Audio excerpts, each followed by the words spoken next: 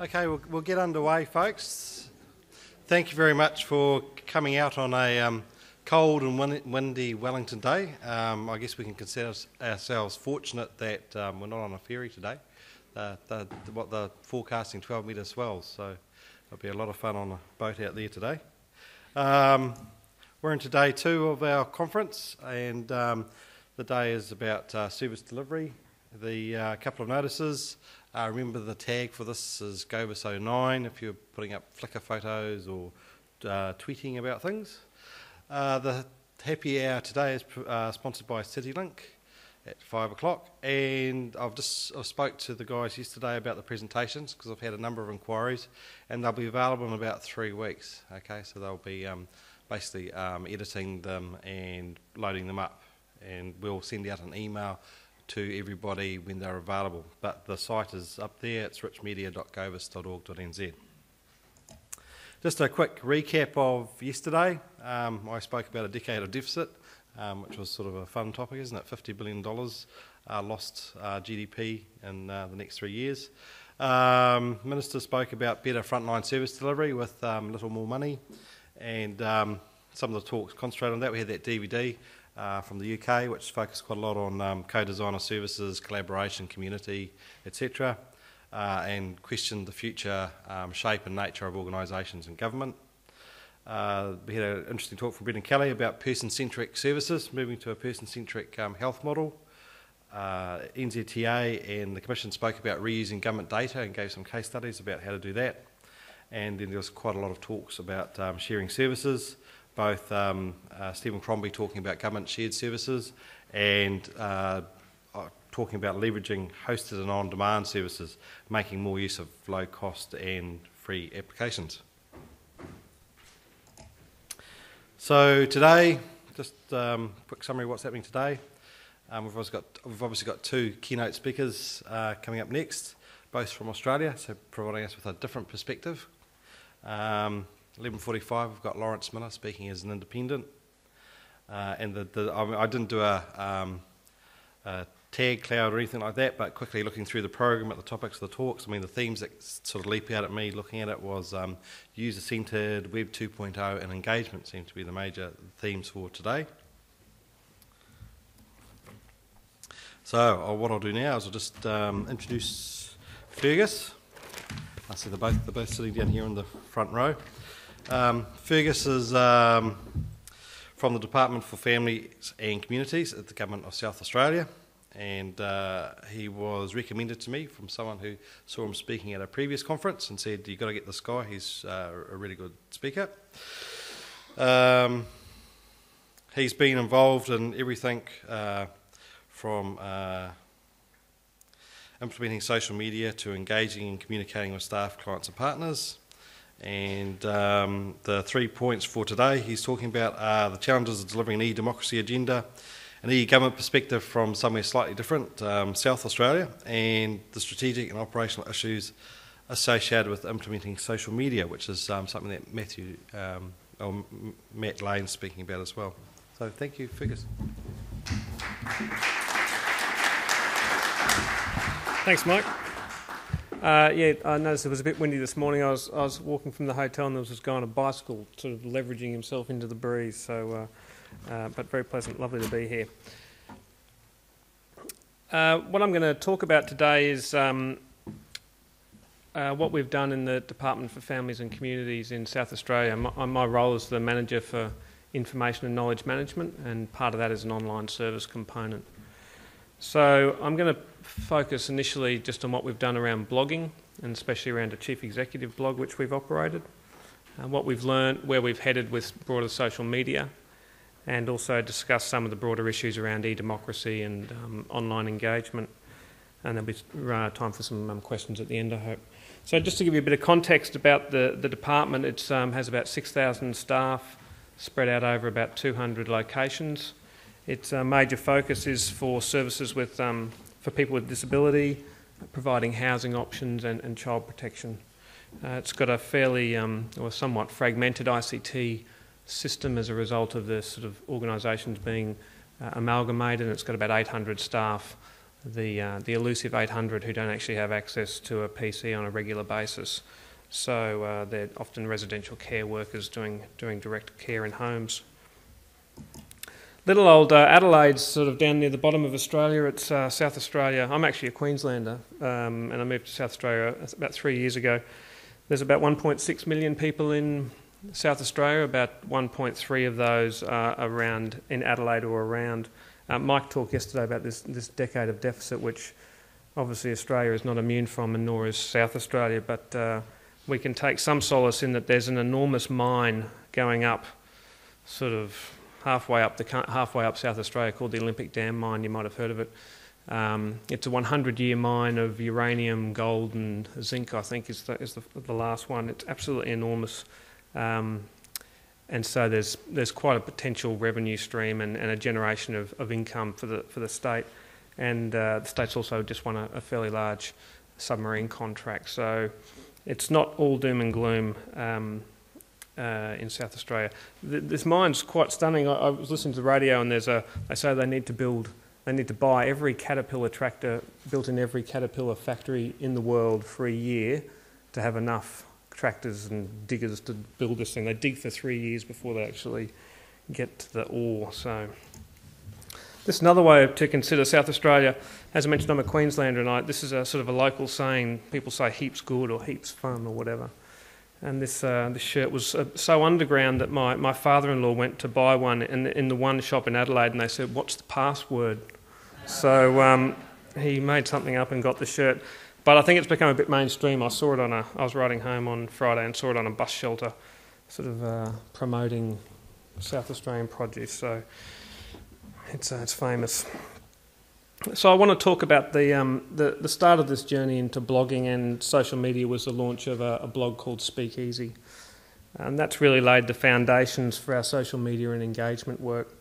And and I've just put a couple of the, of the four aims there. So that started in November 2007 as a 90-minute online discussion between the then chief executive Sue Vardon and all um, or any staff within the office who, who cared to watch.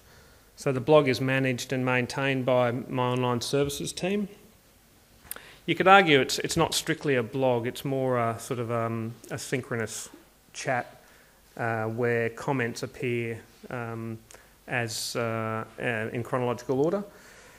But it's used as blogging software called Community uh, Server, and the term is sort of stuck. So, for the purposes of this, I'll, I'll just call it a blog. There was initial discussion in my team about how the blog would work, and my view was that it it would be something which might augment the regular uh, e newsletter from the chief executive, and that would sort of share reflections and ideas. But I was shouted down, and um, my team sort of said, well, no, it's got to focus on business outcomes. So I'm glad they, they uh, got that one right.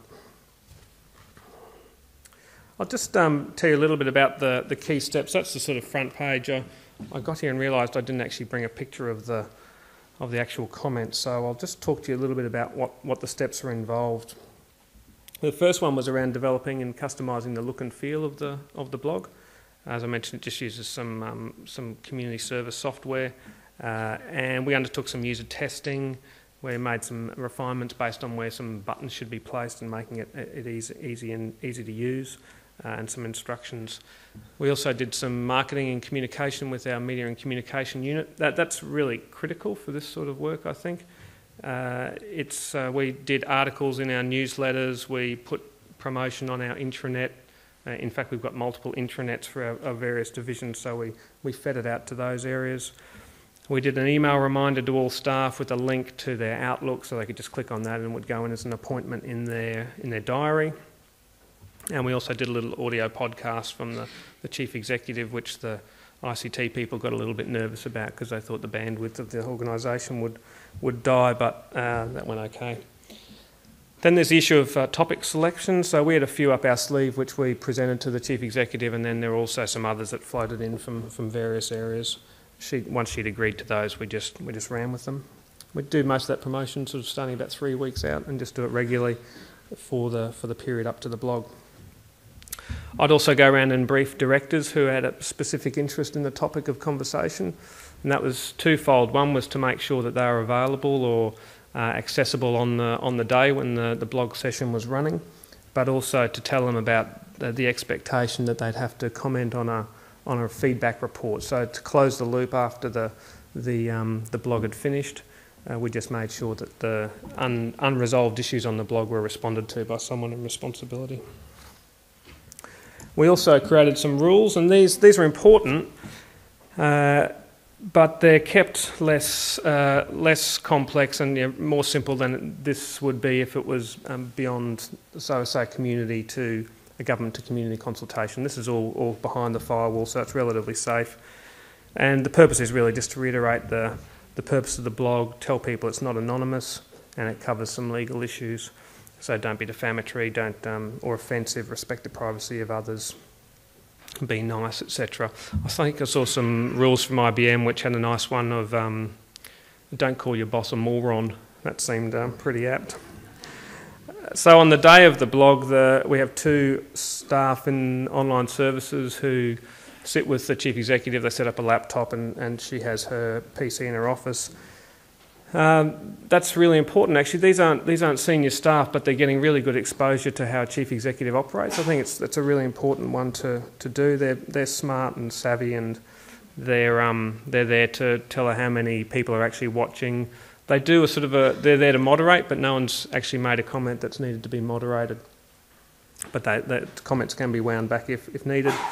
And they're also there to make telephone calls or emails or SMS um, people who the chief executive is saying, you better get Fergus on the phone to respond to that particular issue. So that's a bit more proactive. Once the, the session's completed, there's a, um, as I mentioned, there's a feedback report that takes, um, it's only two or three pages, sort of says what are the key issues and themes, what was promised, what's unresolved, and what are those areas going to do about it. Most of the issues raised on the blog are actually um, responded to on the blog. So over time, that feedback report has has decreased a little, and it's probably the what we don't do. It's probably what we do worst out of the whole thing is just closing the loop because once the chat's over, I think the interest sort of tends to wane a little bit. But I, I think it's a really important point for transparency to show people that we've had this conversation, some things have been promised, there's got to be some follow up. Uh, the really strong point, I think, from the, the blog is having the chief executive acknowledge issues and concerns and really be quite frank about that and say things like, that's not good enough, I'll talk to your manager, um, I'll put this on the agenda for the next executive team, and the sort of the richness of having someone far away from Adelaide, a new staff member who can sort of hit the chief executive directly, is, is a real a real bonus. It's often commented on. As I mentioned, we, there is some moderation, but we've we, um, we haven't actually had to uh, uh, take any comments down. So these are the topics we've had on the, on the 11 sessions to date, and they're, they're quite broad, there's nothing really controversial there, and they're probably the types of issues which lots of organisations face. So, um, you know, maybe they'll inspire others to, to do something similar. Some upcoming topics we've thought about maybe um, how we can save some money in the department or how we can deliver services in a uh, decade of uh, deficit, maybe social innovation, worker mobility. We've got a lot of staff in the field, and uh, so what, what, are the sort of the supports that are needed for them? And maybe something on um, Facebook at work might be interesting. So I'll just show you a few uh, graphs around usage, and this is the number of staff who have commented. So as I said, we've done 11 to date, and the number of comments, a uh, number of people have commented are from about 18 to, um, to 66 comments. When we look at how many actual comments those people have made, that's gone from about uh, 58 to 210. The staff survey being the, the one which um, caused a bit of uh, chaos, actually. It was really difficult to just keep track of, of the comments. There were so many over a, over a reasonably short period of time. So, so they run for between an hour 90 minutes is generally preferred up, up to two hours. When we look at how many people are actually viewing, we're getting from between 120 to just over 500. So from about 6,000 staff, 6,000 plus staff, less the um, elusive 800. Uh, you, I guess you could ask why, why bother? That's actually not a high proportion of staff in the context of all staff. But really, the, the idea of getting 400 staff in a room to have a discussion would be very, very expensive um, travel, accommodation, catering, etc. Whereas this is sort of a discrete block for an hour in people's, an hour and a bit in people's, um, people's diaries. There's a few points to mention. We've tried an anonymous blog uh, where we let people, the people uh, as soon as they log on, their, their username comes up and we tried for the staff survey blog an anonymous approach where people could put in their own username or just have it as, as, um, as nothing. Uh, the basis of that was that the staff survey, which is completed by about 3,000 of our staff, I think, was also anonymous. So we thought we'd just give it a go, and people, there were some sensitive issues being discussed, so maybe the anonymity would, would help them open up. I'm, a, I'm actually not in favour of it, especially I think people need to, to take um, some responsibility for what they're saying. But from a practical point of view, it also was quite difficult for the chief executive to understand well, where, where are you from? Um, you're going to have to send me an email outside the blog to tell me a little bit about your story if you want me to help you. And we also had um, people making multiple usernames. So we didn't actually have people going, you know, I'm Bob and this is a great idea, and then Jane saying, wow, I agree with Bob, he's got it all worked out, and they're actually the same person. But um, we could track that through looking at IP addresses, and people sort of came up with some bizarre names. Uh, it's also interesting to see the most number of views was the, a round of introductions. So during this process, we've had a change of chief executive, and um, people were really curious to say who's this, who's this new woman, and what's she about. So um, that, well, I guess that was that was promising. So the question is, um, is it working? So we've done um, two surveys of, um, of users, and we've got about 100 plus responses on those. And what we know is that we've had about uh, 2,300 individual users of the, of the blog, uh, or people who have looked at the blog. We've had about 615 people who have had more than 10 refreshes, so um, looking at the screen to see updates. I suspect we've got a, yeah, quite a, a small core group who participate in almost all of them. We've got uh, 99% of people have said it's, it's simple to use. That's, that's promising. We've got 87% of people saying they, they see value in finding out what the chief executive is thinking. So that idea of being able to talk directly is really useful. Um, some comments of people saying, well, I've been in the public service for 30 years, I never thought I'd see this opportunity, or I tell my colleagues in another department and they just they think I'm, I'm lying. Literally those sort of comments. So maybe that's a reflection of of South Australia or government. I'm not quite sure, but they're certainly nice nice comments to hear. Uh, interestingly, it's not all about the chief executive, and people find uh, just as much value in seeing the comments of others as they do from seeing the comments from the chief executive. So um, often the, the CE sits back and just watches the conversation unravel, uh, and people responding to other people's questions, which is which is really strong. There's also quite a strong support to move it beyond the chief executive to executive director level and also to our executive leadership team, and we've, we've started that process. Uh, people are keen to make it a complementary tool and just not a one off, so um, visits to offices, email communication, newsletters will still continue. This won't, this won't replace it. There's um, obviously some barriers, though. The big one is that basically people don't have time to sit at their desk while there's customers at the front door. People also want to be confident that they're safe, um, that there's going to be no retribution if they say comments which um, are critical of management or, or staff or the organisation or government.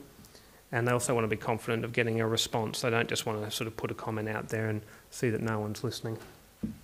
I guess the reality is that a lot of people just like to watch. They're not interested in making comments. They're looking at the blog as a way of finding out what um, what's happening in the organisation and you know, what the vibe is.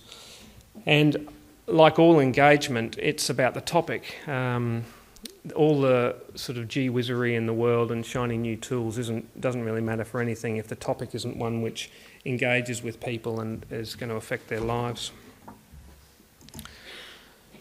This is, um, I guess we're, we're asking whether the, the model is sustainable. I, I, think it is, but I think it'll probably come down to the, that next layer of management and, and focus on teams and projects. This is sort of a bit of a model which we've used to um, think about topics. The original focus was around these business improvement, but I think there is some interest in sort of more social aspects as well as you know rallying the troops. So it's just sort of a way to, to report that. The leadership style of the of the host, if you like, is is really important. As I mentioned, we had a a um, it's important in any communication. In fact, not just not just blogging.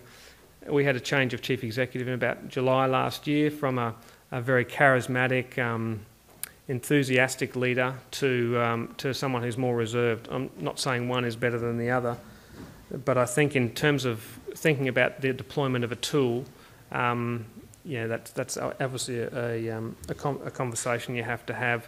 The previous chief executive gave quite short, sharp, uh, informal comments, didn't mind occasional typo. The new chief executive is a bit more deliberate and, and takes a little more time on those.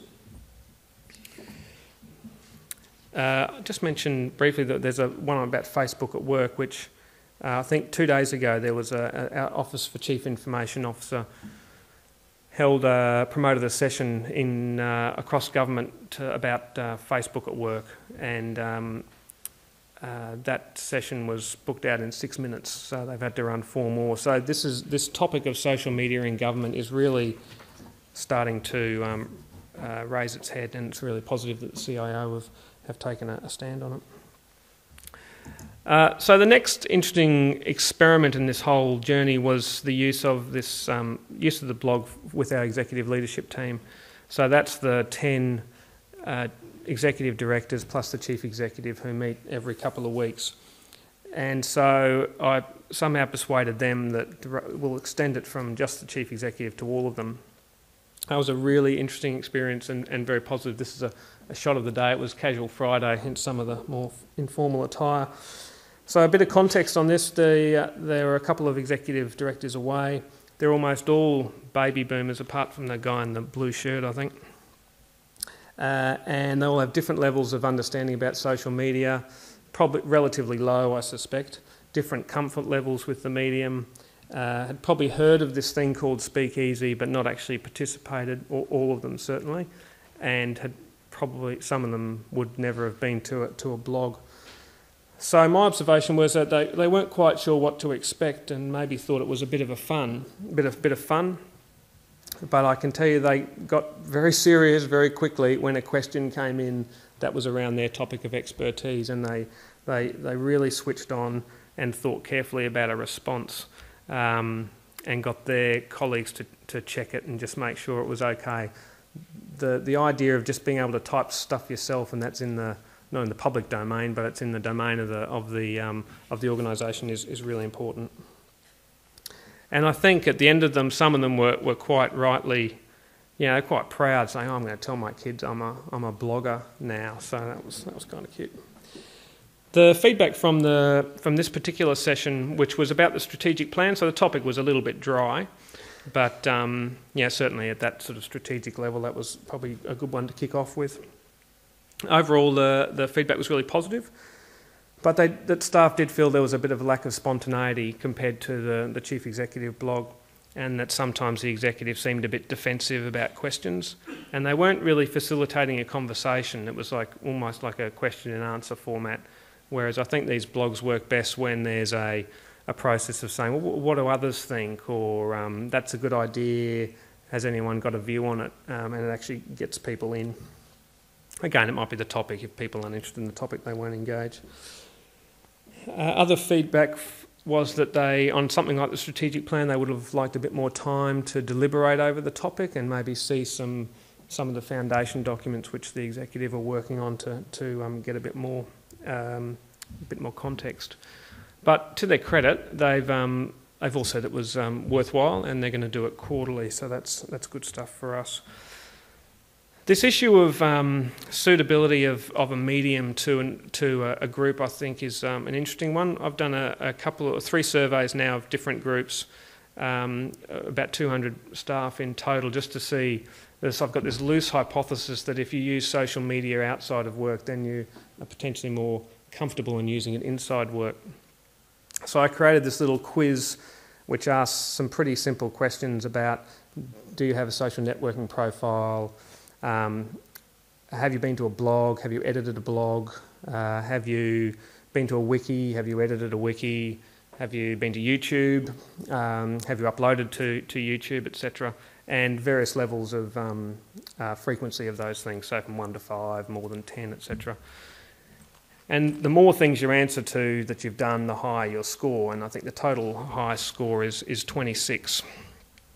Uh, the, I, I, surveyed 50 senior managers last year, and their average score was about 7, compared to my group, of, which is about 33 staff. The average was about um, 12. So age is you know, determinant. We know that the, the, the managers are more baby boomers.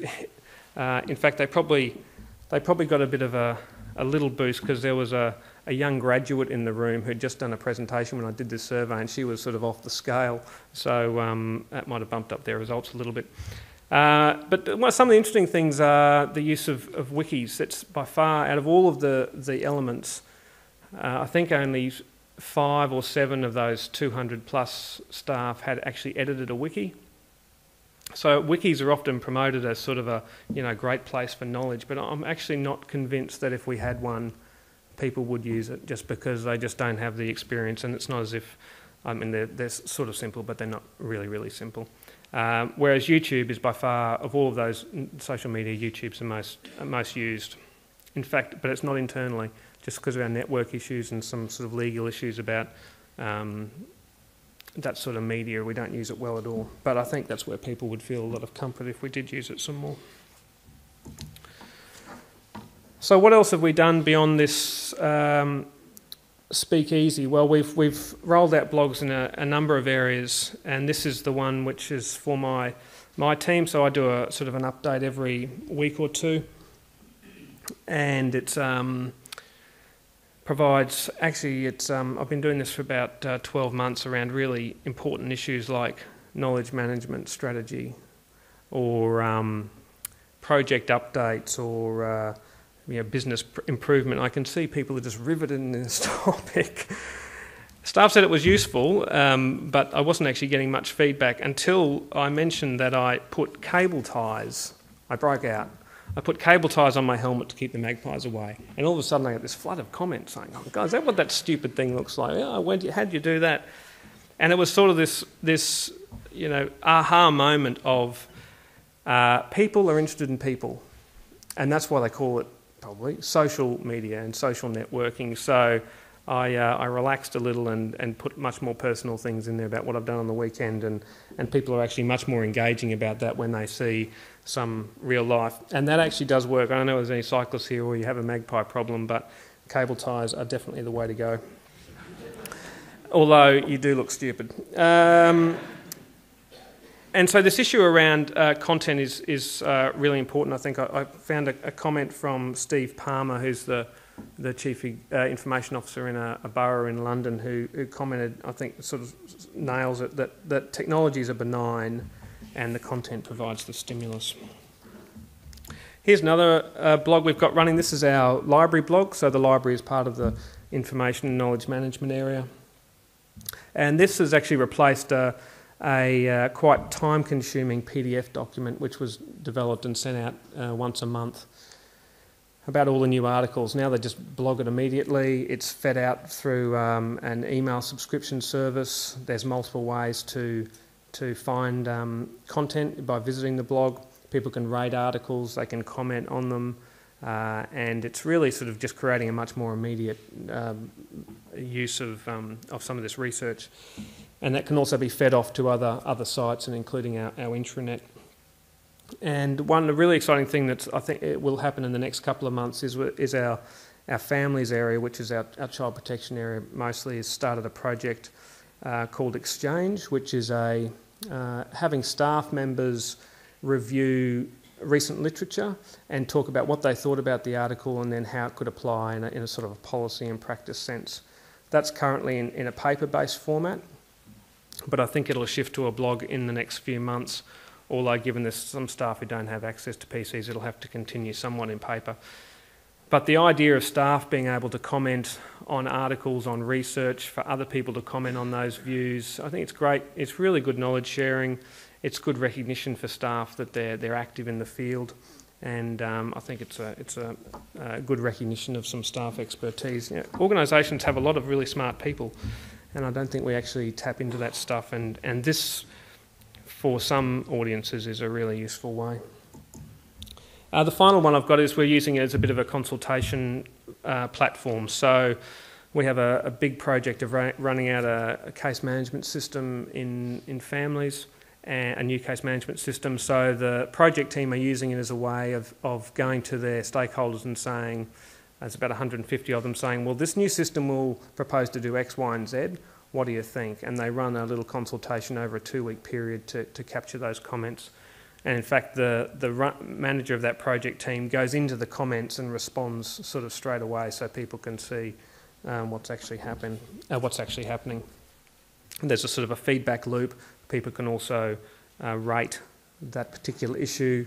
They can do the subscription and they can also add attachments, so it's, it works pretty well. So um, I'm really just talking about blogging here, and this is all behind the firewall, but here are some sort of good old South Australian heaps good tips. Uh, I was trying to think which is the most important of these, and, and they're all they're all doable and they're all important, and they're not um, they're not extremely complex. Um, yeah, we're not sort of building the, the space shuttle here, so it's it's uh, they're all doable. One issue I could probably extend to this. I was thinking about is the is there's a balance between control and providing people with the freedom to explore and to play, uh, but also make them responsible for what they do. So that needs to be thought of a little, little um, cleverly. We haven't imposed really onerous governance, but I do insist that if someone's going to start a blog, they at least do a project brief to say what the hell they're trying to, what the hell they're trying to achieve, and have some commitment to measure that. And I sort of hassle them if they if they don't. So the interest in, in blogging was really the catalyst for a paper which I did to our ICT council around social media. There's really, um, you know, people, ICT, I think, our ICT get a little bit nervous about the web.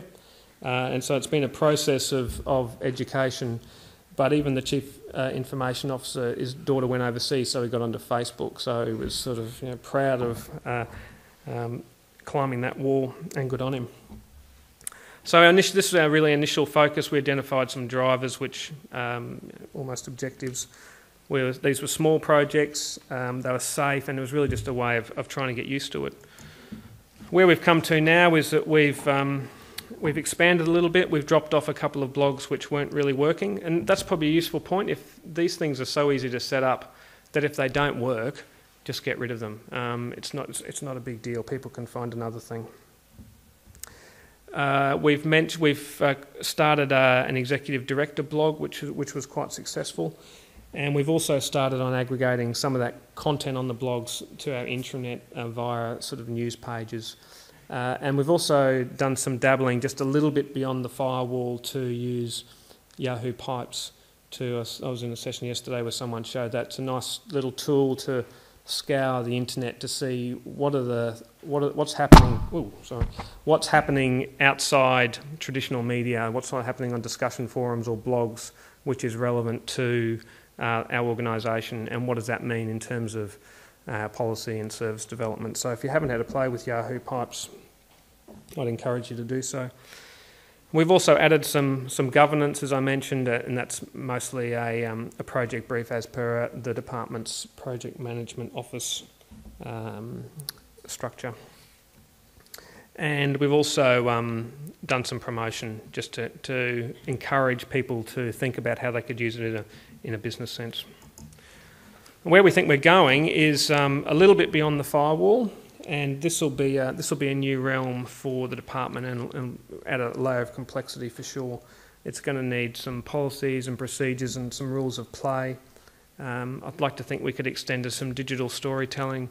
There's some issues around the, the legal use of, of YouTube and where that data, who owns that data. So that's um, that's uh, an issue.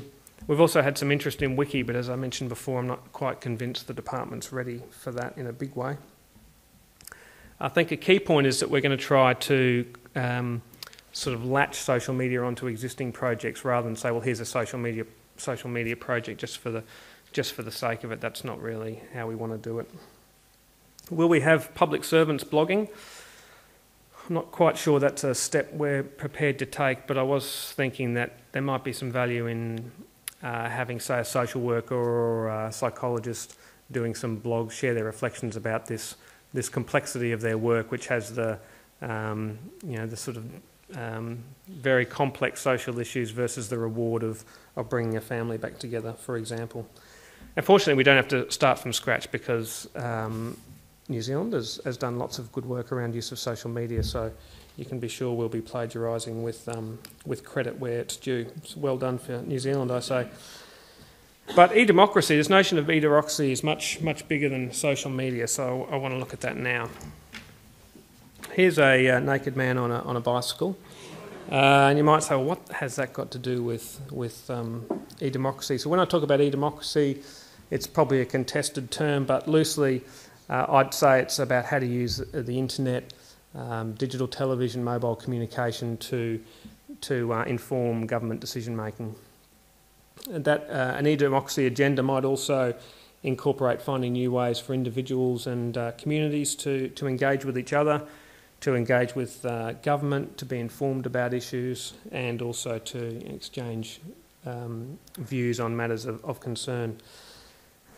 Does anyone know who this is? Lance Armstrong, that's right. So, seven time winner of the Tour de France, retired, uh, made a comeback, a grand comeback at the um, Tour Down Under, which is a sort of a big cycle race in, in um, South Australia. And that was in January this year. Crowds went nuts 750,000 spectators along the route over five or six days. Huge increase in anything previous. What else is Lance Armstrong famous for? Well, he's a tweeter. So during his stay, Armstrong uh, had lots of meetings, uh, mostly around raising um, funds for his uh, cancer research program, and that included um, meetings with businesses and, and uh, politicians. So, a few weeks after the, the Tour de France had left town, what happened? The Premier started tweeting as well. Is it a coincidence that they got on well and, and they're, they're, they're tweeting together? I'm not really sure, but I think, I think it's a great step. Um, this is, I didn't know the Premier was actually raised in New Zealand, so there you go, he's got some, got some good stock. You might ask, why would the Premier want to do this? Uh, he does write all of these posts himself unless he declares otherwise, but it's really being used as a tool to, to communicate, to, um, to promote activities of the government. Uh, it bypasses the media. There's only one paper in Adelaide called The Advertiser, it's a Murdoch press. I absolutely hate this. I mean, media's journalism's probably going down the toilet, so it's just another thing for them to kick around. But I think that's what Armstrong does really well. Just he just gets the messages out straight away and, and really doesn't have a need for some of that traditional media. And I suspect the premier's seeing some advantages in that as well. It's quite informal, and there's actually a dialogue um, created between the premier and and others. So that's pretty strong. Being able to talk to the premier directly is is pretty useful. But I guess the question is does this raise the expectation of increased deliberation, conversation, engagement around more substantive policy and service issues? I guess we'll see. There's an election year in 2010, so it's going to be um, quite interesting. And I guess context around an e democracy agenda is, is, is a big one. I'll talk a little bit more about that. This is um, another factor in South Australia is this woman. This is Genevieve Bell South Australia's got this great program called Adelaide Thinkers in Residence, where uh, it's run out of Department and Premier and Cabinet, and they bring a, uh, a thinker to South Australia for a number of months who casts their eye on a particular topic. Genevieve Bell is, is in South Australia. She's, um, she's actually uh, South Australian, which is rare for these thinkers, and, um, but she's lived in the US for quite a while. Not that there aren't lots of smart people in, don't get me wrong. I don't know. Um, uh, where was I? She, um, she works for, she's an anthropologist and she works for Intel. So she goes all around the world talking to people how they can, about how their, their basic use of technology. Absolutely fascinating stories from all over the place, and it's been, it's been really great having her in Adelaide. She's done lots of consultations around the place, and really the aim is to explore what's the role of ICT in the future of South Australia uh, Adelaide Thinkers in Residence is very strongly supported by the Premier and taken very seriously. And so that's a, it's a, a great time for us um, in terms of engagement. Uh, one of the great things about the project has been our use of social media. So, yeah, this is, I guess, in the context of what, what Blair and Obama and Brown have been doing, it's pretty modest, but this is a, a big step in, in uh, our jurisdiction to really the first use of social media uh, via blog for storytelling about how people use technology and some really you know, rich stories. People can post photos, they're put on Flickr. Um, there's a number of links to various social media sites. It has an RSS feed and, um, and various other activities. So the, the Genevieve Bell residency has really been the catalyst for something which, is, um, which I think is, is really important. She'll deliver a report in a couple of months, which I'm sure the Premier will take a lot of notice of. We've also got some other important projects underway. There's a whole of government ICT strategy called Ask Just Once, which is uh, looking to really reform the way, well, one of the elements is around channels to government, and that'll involve the, um, the first goal is a, a, common internet site for government, a bit like the DirectGov model in the, in the UK. And so that's um, shifting the focus of how content about government information and, and services is written and presented to consumers. So rather than having to find their way through the myriad of government websites, it's about 600, I think, uh, they can go to www.sa.gov.au and be presented with information in a, in a, um, a customer friendly way. So that uh, implies some engagement with commu- uh, the community about what they actually what they actually want and need. So that's a good step. There's also a government information licensing framework agenda, which is looking at Creative Commons. So another activity of how can we, how can the community use uh, government data more effectively. We've also got an Australian Centre for Social Innovation launching in Adelaide uh, shortly, which was uh, one of the suggestions out of a previous Thinker in Residence program, and it's got some money behind it, so that's really important. And finally, in my own department, there's, um, there's a A3 document, which is our strategic plan, so there's not a lot of room on it, but one of the objectives is around um, developing a community engagement strategy. So that's, that's really heartwarming to see that uh, I think our department will probably lead some of this agenda, which is, which is great. So whether these are the, the seeds of change that are needed for an e-democracy agenda, I'm not sure. Um, it's not as if e-democracy is new. The, the, Queensland government created one in 2001 following a, an election, and then they upgraded it. Um, this policy framework was written in 2004, so that was really the first time a, a government had said, "This is this is our direction around this thing called uh, e-democracy." I guess the world's moved so quickly with these these new types of tools that uh, the framework might sort of be out of date within 12 months. But I think it's really important that we, we don't just sort of start from scratch, that we can, we can build on those of others. There's lots of US and UK and, and New Zealand examples to your credit, which um, people I think people are looking at to see whether they can they can pinch them. You've got the famous Police Wiki Act, of course, which is just about written about in every e-democracy paper, I think.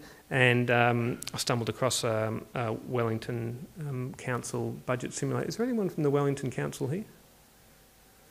Okay, I'll have to knock on their door.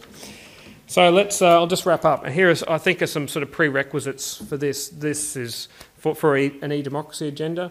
I guess you could argue this is probably much the same for most projects, but it it sort of struck me that this notion of leadership's a really um, uh, a really big one. I've seen that in Queensland, where Premier Beattie came in and, and engagement was the uh, one of the five government priorities.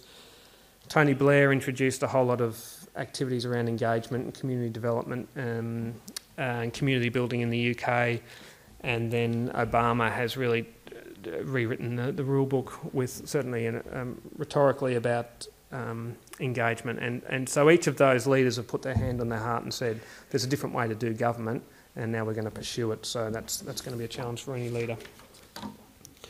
And my final points are the, um, these four. I guess I think there's, there's just massive opportunities for social media in government, both internal to government but also that community uh, government interaction. Uh, I hope uh, that happens in South Australia, and I hope it does here too. I, I, went to a Webstock session on Tuesday night, and, and I found it really interesting. Just this this energy of some some local um, web developers or vendors um, talking about Web two, Web three, about gaming for education, about social innovation, about cooperation. It seems there's a there's an opportunity waiting to be grasped about how how government might sort of harness that sort of energy for um, to help build and grow something for lots of people. The political dimension's a really interesting one. Uh, I'm quite a fan of some of the work that uh, Cisco have done around their Connected Republic. It's, it's, a paper well worth worth reading, and one of the authors is Martin Stewart Weeks, who um, has this lovely notion of himself as the, the romantic versus the realist, which I, I think I align with. The romantic in him sees the disruptive possibilities of new technologies and sees how they can reshape views and vision, while the realist in him sees these um, deep structural resistance, denial, and delay from those in positions of power. But there's certainly room for optimism. There was the Obama town hall uh, a few months, virtual town hall, and so anyone who can um, have a town hall meeting with um, 90,000 people posting 103,000 questions and voting 1.7 million times uh, is really sort of doing something a bit new, and, and um, that's a good thing to do. Perhaps ultimately, though, communities will do as much for themselves um, with or without government. Thank you. We've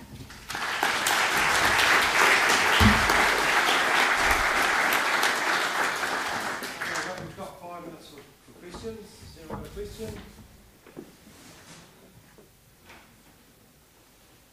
Start. No questions?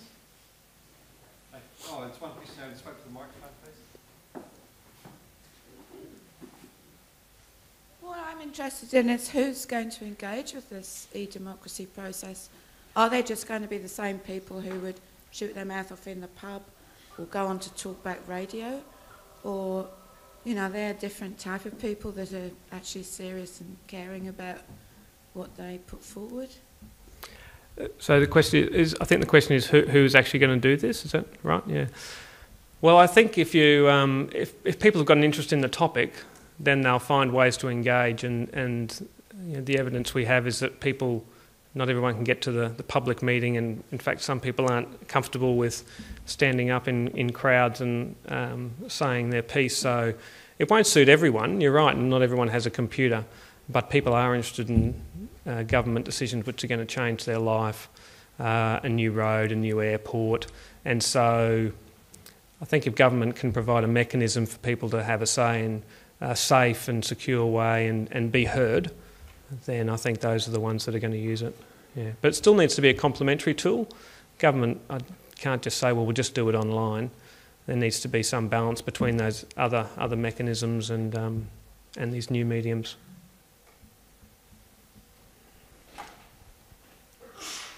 Um, there's a concern around the technology divide that this kind of um, environment creates because uh, a lot of the poorer people in the community don't have access to Mhm. um, internet or broadband, uh, etc. But also the disabled community, in Mhm. a lot of senses, get um, excluded from websites through website accessibility. hmm Um, do you guys have anything around that? Have you addressed that in any way? Uh, well, we, the issue is around um, yeah, disability access and, and, and uh, the digital divide, I guess. Uh, we comply with WC3 standards, um, and disability is a is a, a sort of a core part of our department. So that that's actually an argument that's raised all the time from people with disabilities don't use computers to are you nuts? People with disabilities always use computers because they're socially isolated. So.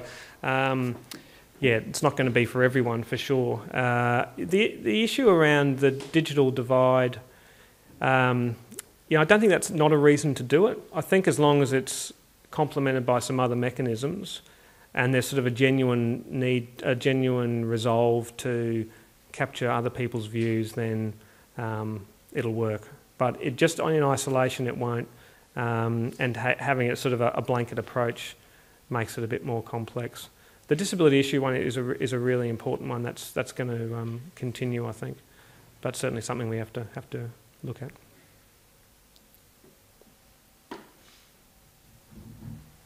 Any other questions? Okay, thank you. Fergus. Thank you.